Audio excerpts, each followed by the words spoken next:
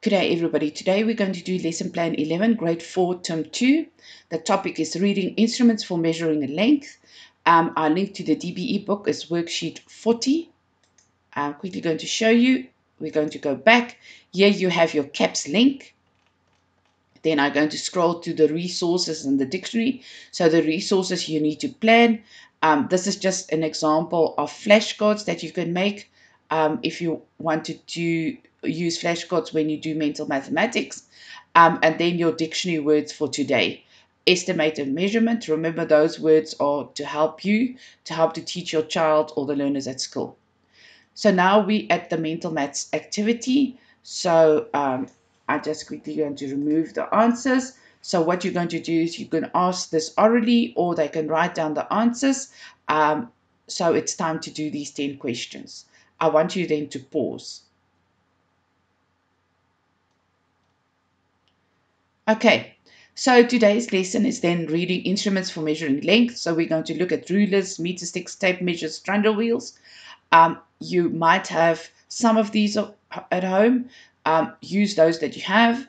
Um, at school, you need to try to get all of them so learners understand these. So for rulers, we're going to measure in millimeters and centimeters. For, for examples like books, or a desk, a table at home, meter sticks the front of any room.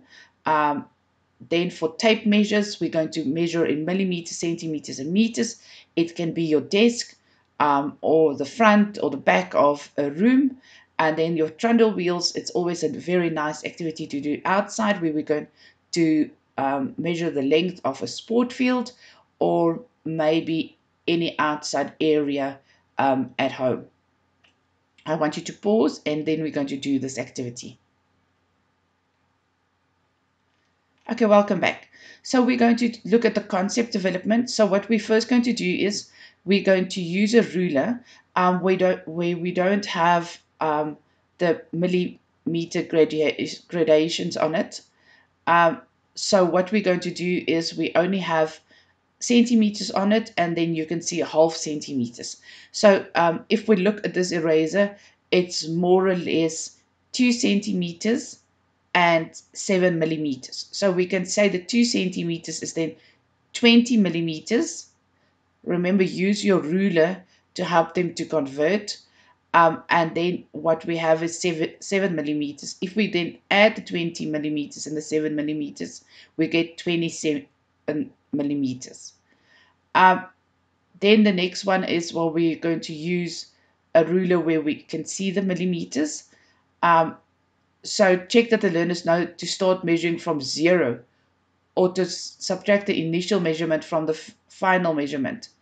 Um, so very important um, that we start on the zero. Um, it's quite common and often where learners start measuring from one and not the zero um, it might be that you need to revise um, number the number line concept with them if you see they do struggle.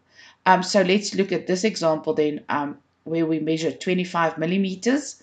Um, so we, if we write it in centimeters and millimeters, this 20 millimeters will then be 2 centimeters and 5 millimeters. Now the 5 millimeters, we can write it then as two and a half. Um, this is easy to do because on a ruler, the fifth millimeter gradation line is normally longer. So let's quickly see then. Um, once the learners have learned from reading a commercial mass on capacity packaging, that is two and a half, is the same as 2 comma 5. They will also be able to use the decimal 5 in their recordings, like 2 comma 5 centimeters. They don't have to convert um, comma 5 to half yet. They will understand it through using commercial packaging. I want you to pause and then do this activity. Um, also do a few other examples like this.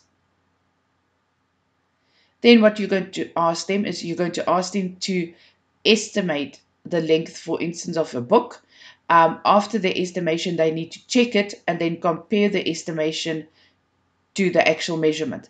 This is very important so they can understand um, length at now and at a later stage.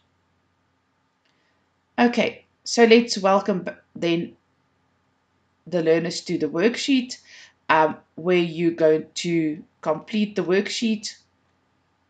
You'll see there's a lot of practical activities again. Um, there's a problem solving. Um, there's the extra activity.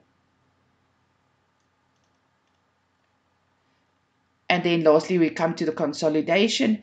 If you ticked everything yes, we're going to carry on with the next lesson. If you have some notes, you revise, revisit, or you contact us at SA Teacher.